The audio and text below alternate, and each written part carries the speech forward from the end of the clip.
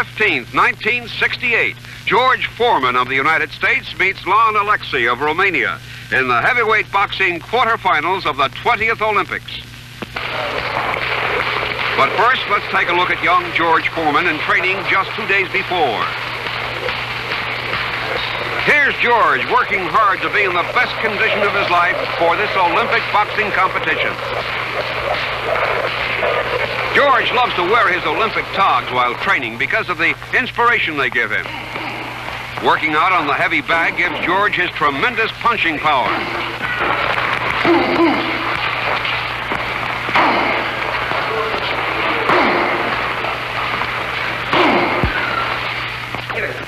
And now we go to the night of the fight. It's round three. George Foreman of the United States in white trunks. Lon Alexei of Romania in red. This is the quarterfinal of the heavyweight division in this Olympic boxing competition.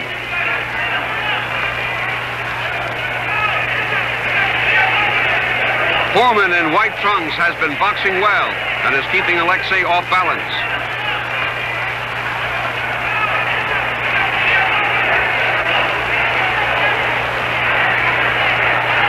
Alexei is southpaw, but George Foreman's powerhouse punching is proving to be the decisive factor in this bout tonight.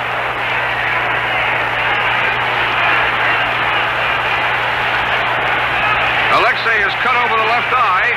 The referee will be keeping a close watch on that cut as the fight continues.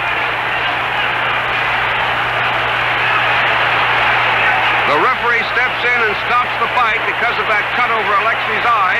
George Foreman of the United States wins this quarterfinal bout in the heavyweight division and continues his quest for an Olympic gold medal. Since 1968, George Foreman of the United States meets Giorgio Bambini of Italy in the semifinals of the heavyweight boxing competition in the Olympic Games. Let's take a look at George training for this important fight. Thus far in the boxing competition, George has made up for a lack of boxing finesse with murderous punching power. None of Foreman's qualifying bouts have gone the distance. George has worked very hard and is ready for this extremely important heavyweight Olympic semifinal.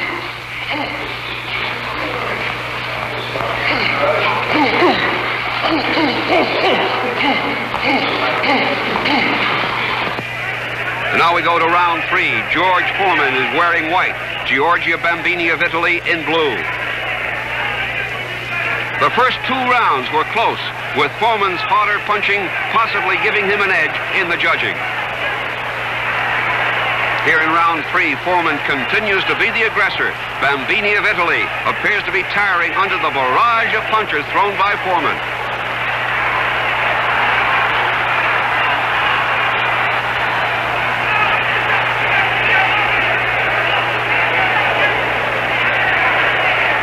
Foreman looking for an opening to deliver those rock-crunching punches of his.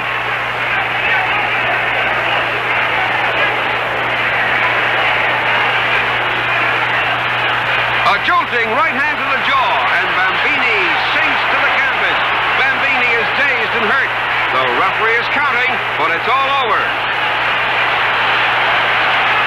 George Foreman of the United States advances to the finals of the competition in the 20th Olympics in Mexico with a third round knockout of Italy's Giorgio Bambini. George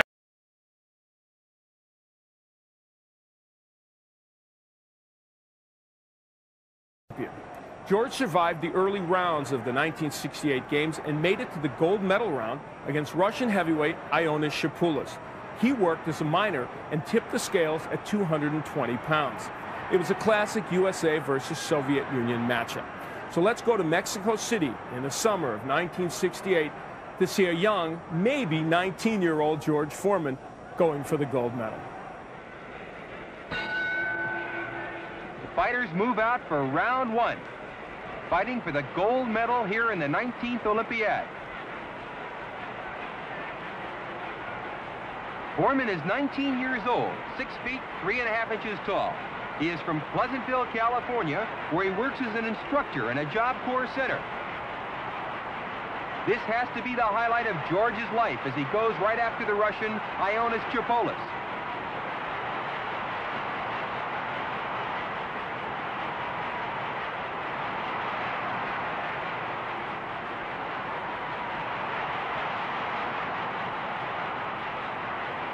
George winging in those punches here in round one.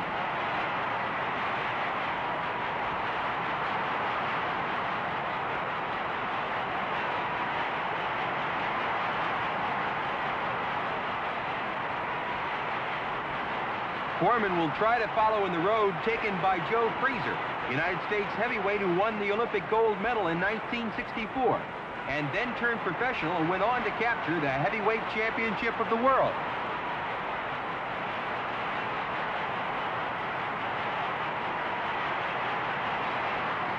Ripping lefts by both fighters.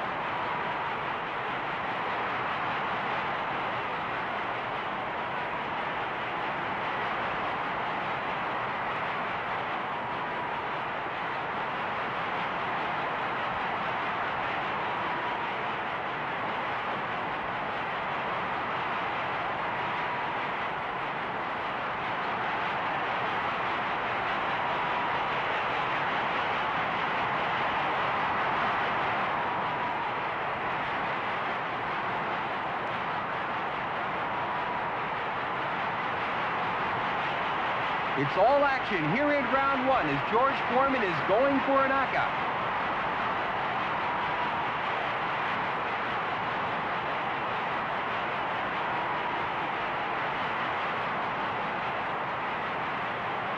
Ripping punches by George Foreman. Chepulis bleeding from the nose. George is throwing bombs in there. He's taking over from the more experienced Russian, Ionis Chepulis.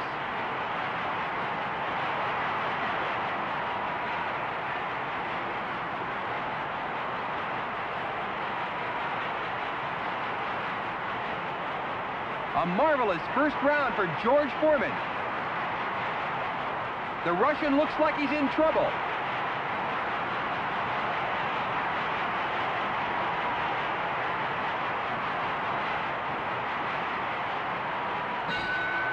And there's the end of the first round, a dynamite round for George Foreman. Chepulis wearily sits down in his corner. His second wipes the blood off of his face.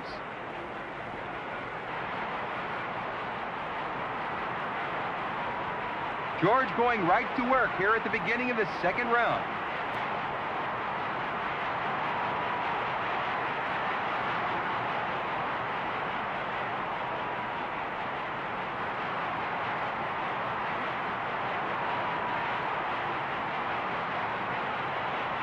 Dynamite punches by George Foreman.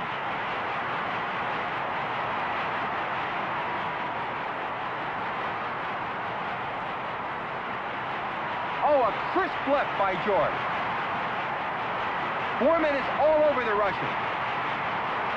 A standing count by the referee.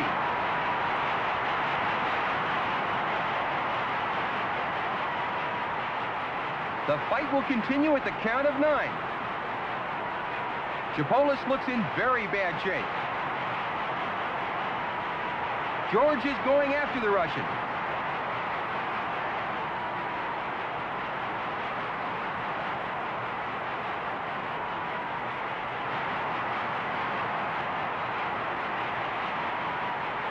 The referee tells the fighters to continue.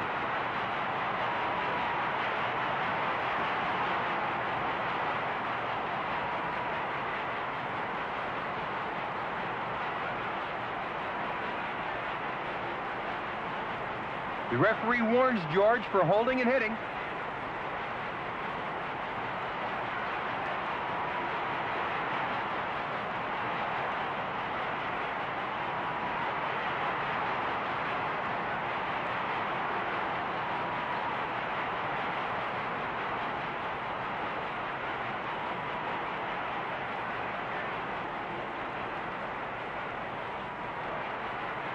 Foreman throwing bombs in there.